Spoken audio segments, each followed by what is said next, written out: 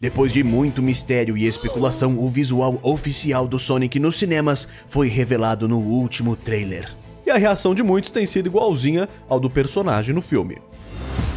Uh, meow? Rush Rush! Rushers! Sejam todos muitíssimamente bem-vindos a mais um vídeo no canal Brush Rush. Meu nome é Guilherme Freitas e há uns 4 meses atrás eu fiz essa pintura aqui tentando prever como seria o design do Sonic em cima daquela silhueta que tinha num pôster que foi revelado. E agora olhando bem, até que não estávamos longe, né? Os olhos do filme são maiores do que eu tinha imaginado e esse é um ponto positivo e até importante, porque o Sonic tem olhos gigantescos nos designs dos games. E além dessa boca com lábios definidos e muito humanos e esses dentinhos, né? Os olhos parecem ser um dos pontos mais importantes que os fãs sentem falta em comparação comparação com o design original. Mas será que o Sonic com o design original em 3D iria funcionar?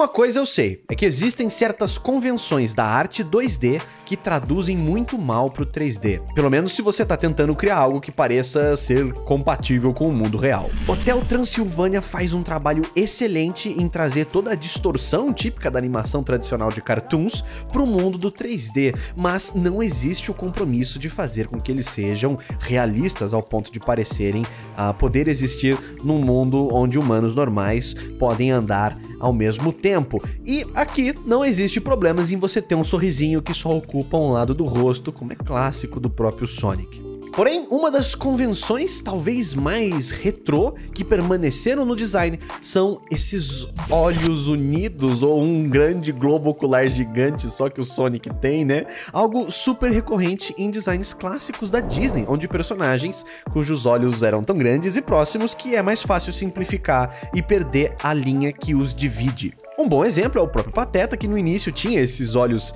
bem juntinhos e até em algumas versões mais atuais ele ainda mantém esses olhos unidos. Mas algo que você talvez não saiba é que o próprio Mickey, ao que tudo indica, também tinha esses dois olhões. Veja aqui, ó, nessas imagens, até a Minnie, veja bem, e isso é muito parecido com o design do olho único do Sonic, né? Mas nem a Disney conseguiu continuar com esse design na hora de fazer o desenho com mais cores, né? O Mickey, por muito tempo, teve a pele com a cor branca para preservar esse design onde os olhos estão mesclados ali, mas num desenho colorido isso fica cada vez mais complicado. Por isso que até o próprio Mickey vai sofrer adaptação e aqueles dois pontinhos que costumavam ser só as pupilas ou as íris do Mickey viram os olhos inteiros dele. E a impressão que eu tenho é que o Sonic empresta algumas dessas soluções de design para fazer a sua primeira versão do personagem, mas nunca evoluiu para algo diferente disso. Mas os olhos precisavam ser desse tamaninho, não, não poderiam ser maiores.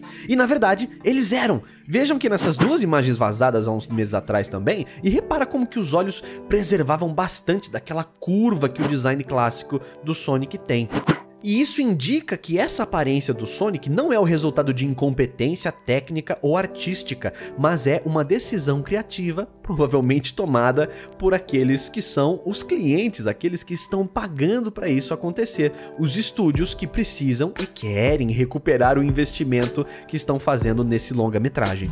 E ainda que eu entenda os motivos por trás dessa ideia de tentar jogar um pouco mais seguro e ir para um design mais realista, eu fiquei imaginando que alterações eu poderia fazer para aliviar aliviar um pouco a estranheza desses canais lacrimais e lábios definidos, é, essas coisas extremamente humanas dentro do rosto do Sonic, e eu fiz este ajuste aqui.